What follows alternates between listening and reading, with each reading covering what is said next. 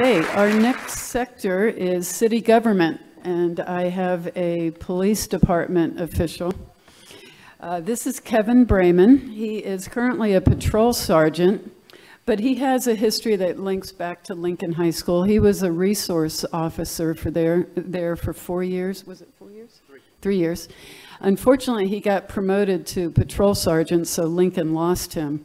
But um, my favorite story of Kevin was when he was leaving Lincoln, and he said that his time at Lincoln with the Lincoln staff and kids taught him how to walk the streets differently with this information.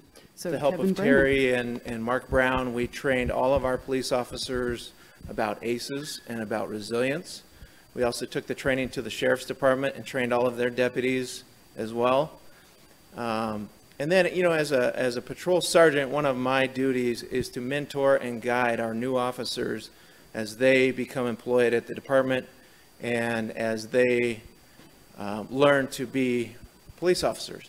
And with that uh, responsibility, I feel it's my place to teach them about uh, ACEs, to teach them about resilience, and what that means for a, for a cop on a, a daily basis or even weekly basis. Because when you run across a, a kid that has struggles in the community or he's, he's downtown all the time, you make that one-on-one connection with him and you can really, I, I think you can make a difference. Um, and this goes on, and, and I can give some examples too. Uh, my time at Lincoln, I had a lot of time there one-on-one with kids. And even today, I see them in the community. They're starting families of their own. They have careers of their own. And we still talk, and it's, it's still a uh, connection that I have with them and a piece of resilience. Um, and I'm just one piece of the puzzle. The school, uh, the administrators, the teachers, they were all a big part of that as well.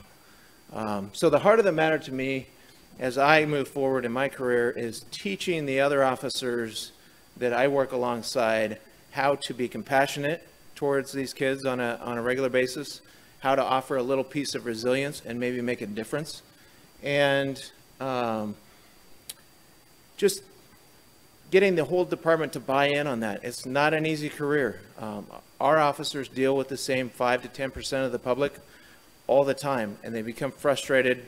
They maybe, after 20 or 30 years, they get a little uh, overwhelmed with the same problem over and over again. And so having patience and having compassion for those people is not always easy. And having this extra piece of knowledge and this extra training that we provide